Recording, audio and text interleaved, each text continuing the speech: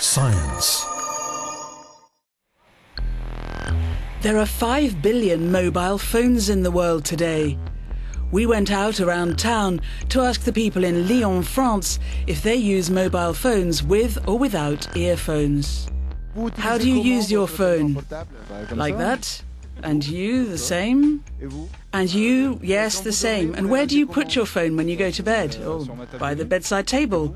And you, yes, the same. Yes, the same. And where do you keep it? In your pocket? Yeah, in my pocket. In my pocket. The same. Yeah, in the pocket. Scientists are still researching the effects of the long-term use of mobile phones. Many people, especially young people, use mobile phones without taking into account the potential health risks involved. But since last May, the International Agency for Research on Cancer has been giving clear warnings about a possible causal relationship between mobile phone use and a malignant type of brain cancer called glioma. We went to the agency to find out more. To find out about the relationship between the brain and magnetic waves from mobile phones and to get some practical advice, we've come to the International Agency for Research on Cancer in Lyon. Cancro di Lione.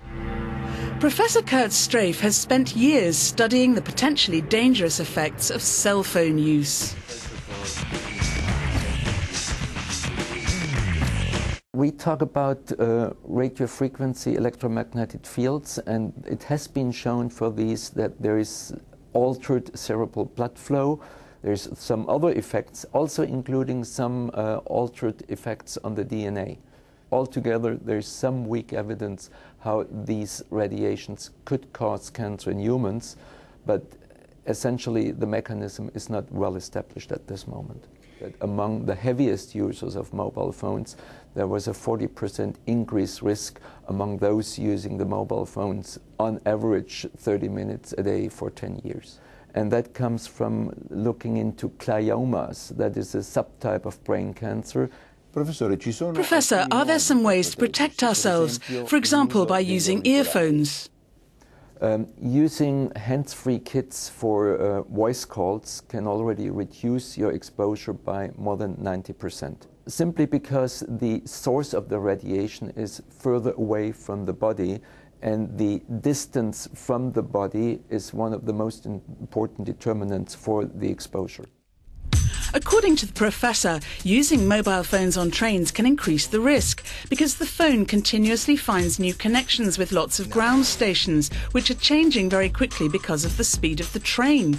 Therefore, the phone emits higher intensity magnetic waves. Is it dangerous to keep a mobile phone in your pocket? certainly reduces exposure to the brain. Uh, however, there may be then more exposure to other parts of the body.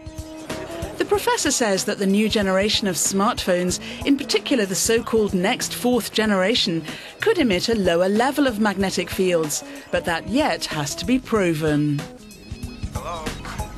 Finally, he says it's always better to use earphones, as this reduces exposure.